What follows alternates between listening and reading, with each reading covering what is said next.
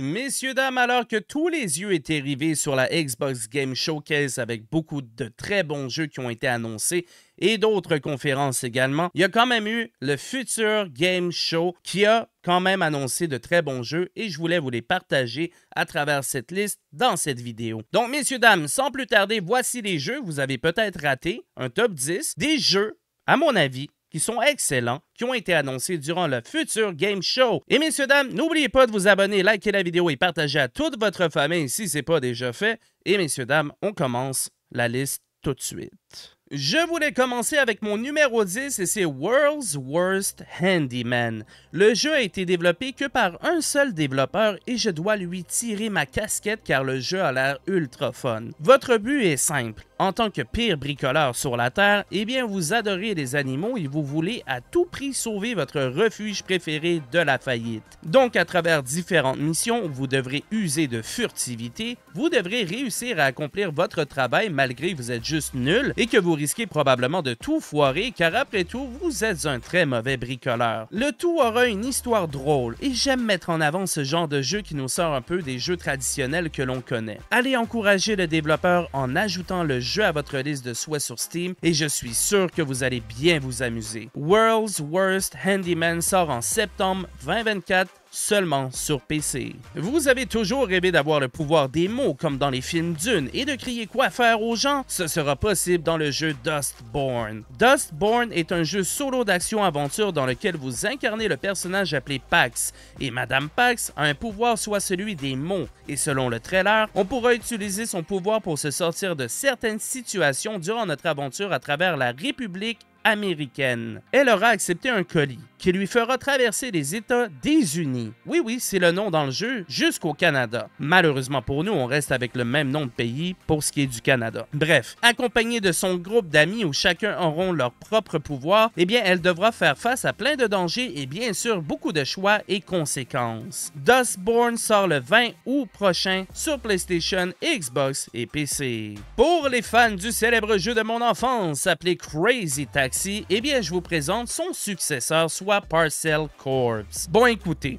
on est en 2024 et tout le monde veut être écolo. Donc dans ce jeu, on aura troqué une voiture pour un vélo. Mais ça n'empêche pas que le jeu a l'air très fun. Dès que j'ai vu le trailer durant le futur Game Show, j'ai tout de suite pensé à Crazy Taxi, car ici dans Parcel Corps, c'est presque le même système, soit de devoir livrer des colis à plein de clients différents dans la ville de New Island. Dans le jeu, vous pourrez faire des missions pour trois sociétés différentes de coursiers et vous aurez une multitude de compétences pour traverser la ville, ainsi que les méchants policiers qui essaieront de vous mettre des bâtons dans vos roues. Oui, littéralement. Parcel Corps pourrait intéresser les gens qui aiment Crazy Taxi ou même le vieux Jet Set Radio, donc allez voir le jeu si ça vous intéresse. Parcel Corps sort le 3 septembre prochain sur PS5, PC et Xbox. En septième position, je vous présente le jeu Eric Solm de Stolen Dream, un jeu d'action d'aventure narrative qui raconte Anna, qui est à la recherche de son frère disparu Herman et qui devra traverser la ville de Eric Solm et tous les dangers afin de le retrouver. Le trailer durant l'événement nous a pas montré beaucoup du jeu, mais je trouvais quand même ça intéressant pour un premier jeu des développeurs de chez Riverhand Games. Vous aurez plus de trois protagonistes avec lesquels vous jouerez votre aventure et non, il n'y aura pas énormément d'action et vous devrez plutôt utiliser votre cerveau afin d'éviter les gardes et surmonter vos obstacles. Ericsson de Stolen Dream devrait sortir autour de 2025 sur PS5, Xbox et PC. Venant direct directement de l'univers du jeu Dead by Daylight nous vient un spin-off appelé The Casting of Frank Stone. Ce jeu qui est en vrai un mini-film narratif avec des choix et conséquences et il y en a quand même beaucoup de jeux du genre dans l'industrie donc non, ça réinvente pas la roue mais pour les fans de la franchise, ça pourrait peut-être vous intéresser. Les développeurs de chez Supermassive Games nous promettent un jeu rempli d'horreur et de moments que nous sommes pas prêts d'oublier mais sincèrement, je sais pas. Je suis pas trop fan du jeu Dead by Daylight et je sais que oui, beaucoup encore y jouent comme des fous, mais ce style de jeu à mes yeux, c'est du déjà vu avec des jeux qui sont à mes yeux des classiques. Mais bon, je souhaite tout de même à Behavior Interactive et Supermassive Games bonne chance pour leur jeu. The Casting of Frank Stone sort quelque part en 2024 sur PS5, Xbox et PC. Mon numéro 5 est un jeu que tout le monde doit absolument surveiller dans le futur et c'est Eternal Strands. Pourquoi le surveiller? Bien juste au niveau du gameplay, le jeu est assez exceptionnel. Durant le trailer dans la conférence, beaucoup ont remarqué durant les combats contre les fameux géants du jeu que notre héroïne pouvait glacer complètement les parties du corps des ennemis et de pouvoir grimper dessus pour ensuite les attaquer d'une autre façon. Je trouve ça très révolutionnaire comme gameplay. Bon, les gens de Monster Hunter me diront qu'ils ont déjà vu ça, mais pas moi, et je doute qu'on retrouve les mêmes éléments dans Monster Hunter. Bref, outre le gameplay qui est tout simplement incroyable dans Eternal Strands, on incarnera l'héroïne Bryn où elle devra traverser la capitale d'Inevron afin de libérer son peuple. J'aimerais également souligner que Yellow Brick Games est un studio indépendant et que Eternal Strands est le premier jeu des développeurs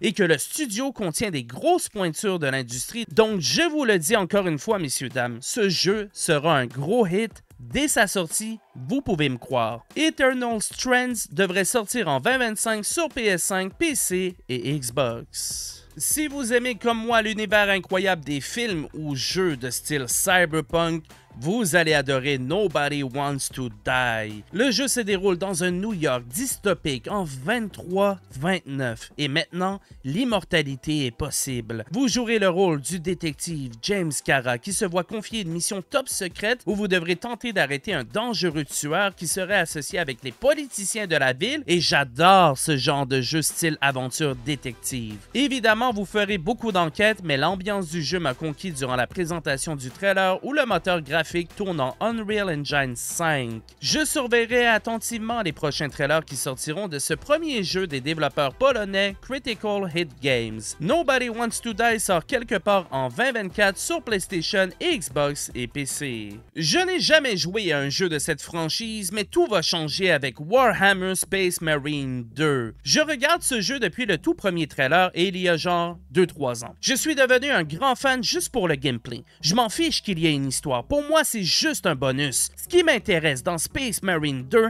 ce sont les vagues d'ennemis qui courent pour me bouffer et moi, comme un malade, qui leur tire dessus en gueulant. C'est exactement comme ça que je vais jouer à ce jeu. Dans Space Marine 2, on incarne bien sûr un Space Marine en solo ou en coop avec trois de vos amis et vous devrez prendre part à des combats ultra intenses à la troisième personne contre des hordes d'ennemis sans arrêt. Vous aurez plus de 6 classes différentes et un mode campagne où vous pourrez débloquer de nouvelles compétences et où vous aurez une très grande rejouabilité. Warhammer Space Marine 2 sort officiellement le 9 septembre prochain sur PS5, Xbox et PC. Considéré par les développeurs eux-mêmes comme étant l'un des jeux les plus anticipés de 2024, nous vient Once Human. Once Human est un jeu multijoueur à monde ouvert de type survie et après ce que j'ai pu voir à travers le trailer, bien le jeu a déjà l'air incroyablement complet. Dans le jeu, nous serons un méta-humain et malheureusement pour nous, on va se réveiller dans nulle part face aux monstres et en manque de nourriture. L'arnaque dans le jeu, c'est que vous ne pourrez pas manger tout ce que vous trouvez par terre. Eh ben non, c'est sale par terre et l'espèce de monde dans lequel on se trouve est rempli de Stardust, soit un genre de virus qui contamine tout ce qu'il touche. Comme tout bon jeu de survie, vous pourrez construire votre base, la personnaliser, collecter des centaines de plans d'armes et toutes sortes d'accessoires que vous trouverez dans le monde autour de vous. Si les devs du nom de Starry Studio tiennent promesse,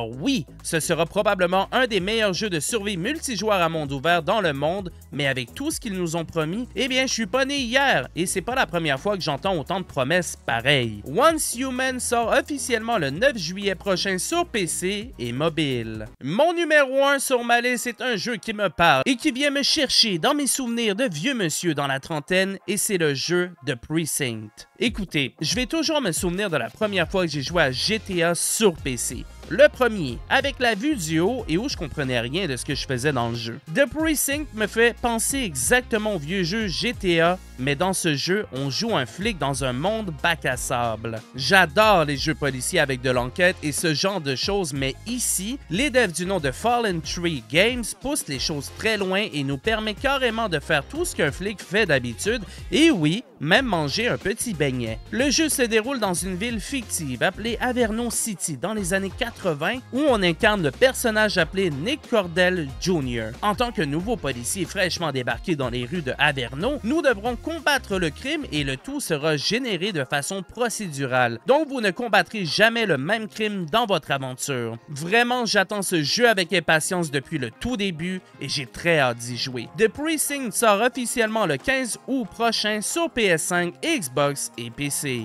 Et voilà messieurs dames, c'était tous les jeux que je voulais absolument vous annoncer. Il y a eu une tonne de jeux qui a été annoncé durant toutes les conférences et euh, je devrais bientôt avoir terminé pas mal toutes les vidéos sur les conférences. Donc euh, messieurs dames, allez regarder les vidéos. J'ai mis beaucoup de temps, beaucoup d'efforts et ça fait plaisir quand vous laissez un petit commentaire, un like ou même quand vous vous abonnez à la chaîne. Messieurs dames, c'est pas terminé. Comme j'ai dit, plusieurs vidéos arrivent. Donc euh, tenez bon là, allez regarder tout mon catalogue, il y en a plein. Et messieurs dames, on se revoit dans une prochaine vidéo. Prenez soin de vous, passez une excellente semaine et peace.